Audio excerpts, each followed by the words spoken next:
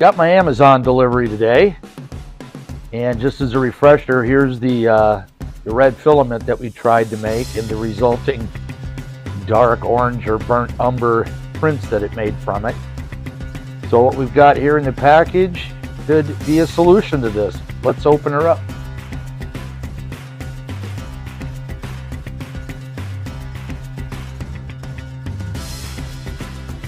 So there we have it, iDye Poly.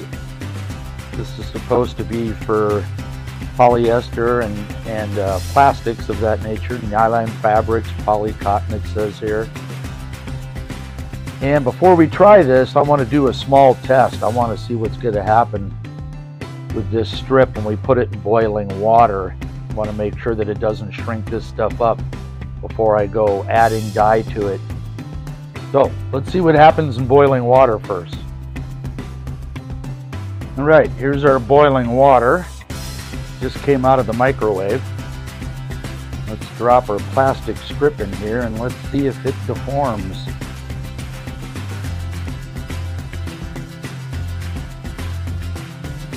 Mm, it's definitely softening up, unraveling.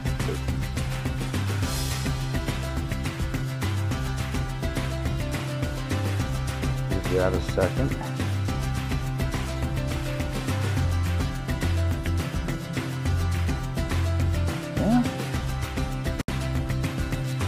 Be good. Well, let's give this a try with the dye in it. All right, there we have our red dye mixed up. So let's take this other strip here. Drop it in there carefully Let's not splash it and make a mess.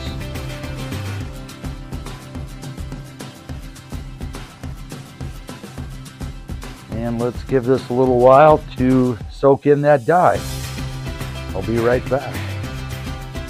All right, it's been a couple hours now. Um, the dye is cooled off.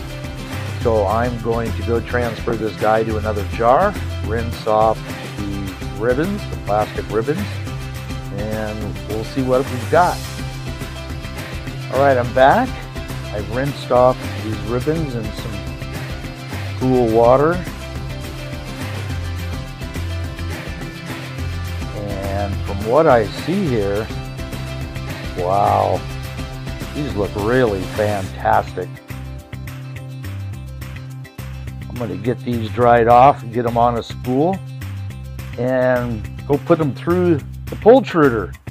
Let's see if I can make some true red filament. I'm excited. This ran a little long, so we're going to go to a part two.